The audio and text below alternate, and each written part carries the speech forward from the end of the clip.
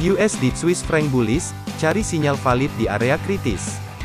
Bias harian pergerakan USD Swiss franc terlihat berada dalam kondisi bullish dan jika diperhatikan harga sedang melakukan fase tertahan di sekitar area resistan.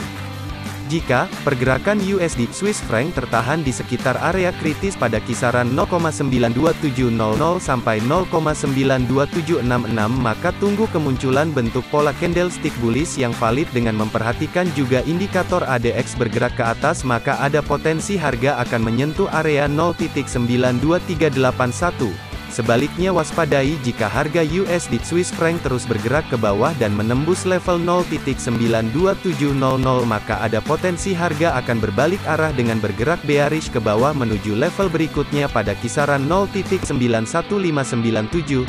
Sekian analisa forex untuk tanggal 31 Januari tahun 2022.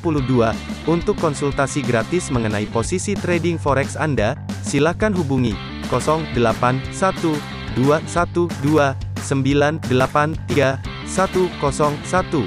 Sekali lagi, 081 212 983 101.